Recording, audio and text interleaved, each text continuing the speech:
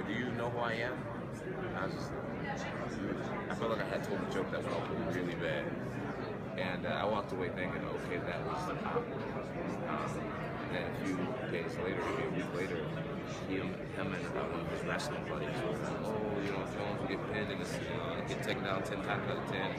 They basically found a way to make that extremely serious and um, to create a legit animosity. I really felt as if at the time, you know, he was who wasn't on my radar. You know, I, I looked at him as, my coach, uh, not as a competitor. And in his head, in his heart, it was like Jon Jones, you know, the, the champion just came and insulted me. And I, to me, I was like, like playing with him, and to him, it was like, I can't believe this guy just came at me like this.